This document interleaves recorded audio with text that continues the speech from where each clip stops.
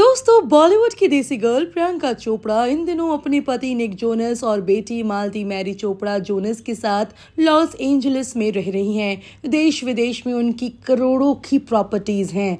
वहीं इन दिनों खबर आ रही है कि इन्होंने अपनी कीमती प्रॉपर्टी बेच दी है। आखिर क्या है रीजन, जानेंगे, लेकिन उससे पहले चैनल को सब्सक्राइब कर दीजिएगा और इस वीडियो को लाइक करना बिल्कुल भी मत भूलिएगा। दोस्तों बॉलीवुड से संन्यास लेने के बाद प्रियंका चोपड़ा हॉलीवुड में नाम कमा रही हैं। वहीं इनकी प्रॉपर्टीज़ देश विदेश में भरी पड़ी हैं। वहीं इन्होंने अपनी एक कीमती प्रॉपर्टी बेच दी है, जिसके बदले उन्हें करोड़ों रुपए मिले हैं। जी हाँ, आपको बता दें, एक मुंबई की इन्होंने प्रॉपर्टी बेच दी है। जी हाँ, आपको बता दें, मुंबई में अपनी एक प्रॉपर्टी प्रियंका ने बेच दी है। प्रियंका की तरफ़ से उनकी माँ मधु चोपड़ा ने ये डील फाइनल की है। एक रिपोर्ट के मुताबिक, प्रियंका ने मुंबई के लोखंडवाला में अपनी एक कमर्शियल प्रॉपर्टी बेच दी है, जिसे डेंटिस्ट कपल डॉक्टर नितेश और डॉक्टर निकिता मोटवानी ने खरीदी है।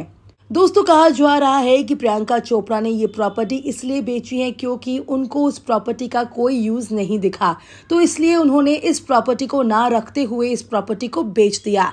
दोस्तों, आपको बता दें, इस एरिया को कपल डेंटिस्ट ने साल 2021 में किराए पर लिया था। जिनका काम बहुत अच्छे से बहुत ही बढ़िया तरीके से चल रहा था।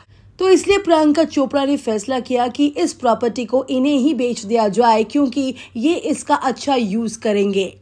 वेल well, ये प्रॉपर्टी लोखंडवाला रोड पर वास्तु प्रेसेंस के दूसरे फ्लोर पर स्थित है। इसमें एक ओपन कार पार्किंग स्पेस भी है। प्रियंका चोपड़ा को इस प्रॉपर्टी को बेचने के महज सात करोड़ रुपए मिले हैं। दोस्तों, इस पर आप क्या कहना चाहेंगे? क्या प्रियंका चोपड़ा ने ये प्रॉपर्टी बेचकर सही किया? क्या प्रियंका चोपड़ा को अपने इंडियन प्रॉपर्टीज़ नहीं बेचने चाहिए? क्या प्रियंका चोपड़ा को इस पैसे की बहुत ज़रूरत थी? इस पर आप क्या कहना चाहेंगे दोस्तों? अपनी राय कमेंट करके ज़रूर बताइएगा। मिलते हैं अगले वीडियो में। तब तक अपना ज़रूर ध्यान रखिएगा। Bye bye and take care